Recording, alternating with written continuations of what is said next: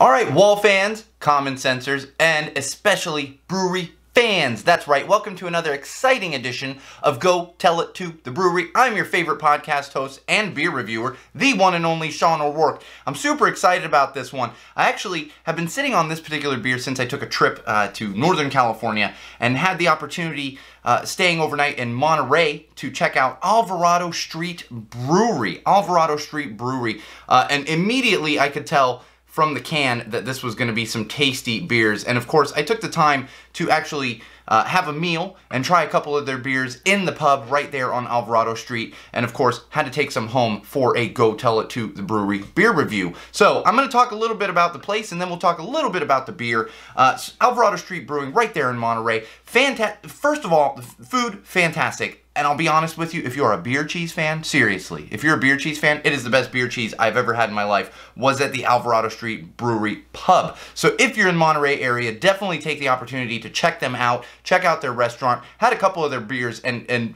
all the beers I had there were fantastic, got some to take home, and of course, also fantastic beers. The cool thing about their restaurant this is not only a pub, real nice pub, great food, uh, kid friendly. They did it was great. I had my two year old with me, uh, so I was able to get her a high chair, some crayons, and all that good stuff. Very kid friendly, kids menu and all that stuff. Uh, but then in the back, they actually have a beer garden. So you go in the back, and it's that typical German beer garden look. They have a beer, or a beer, a bar at the front, and then longer benches, kind of going back a little bit. Real nice atmosphere, nice feel to everything. Great place to enjoy a, a, a, a tasty brew, especially during the summer when you just want to kind of be outside enjoying the weather. And Monterey, fantastic weather pretty much all year long. You're, you doesn't get too hot because you're so close to the water. So again, if you have the opportunity, go check out their pub. So, so, so good. Uh, they don't have super wide distribution. If you're in California, there's a decent chance you can probably get your hands on some Alvarado Street Brewery beers. Uh, you're probably going to have to go to your more specialized craft beer seller as opposed to like a supermarket, even your local liquor store. But if you can get your hands on some,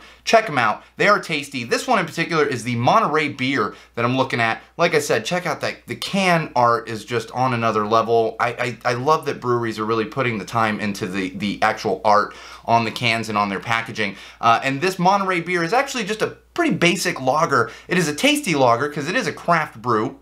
But it's a very basic lager. It's it's definitely going to be good uh, on a hot day. Sitting there at, I believe it was 4 point something percent, uh, 4.5% alcohol by volume. So it's not going to be super strong.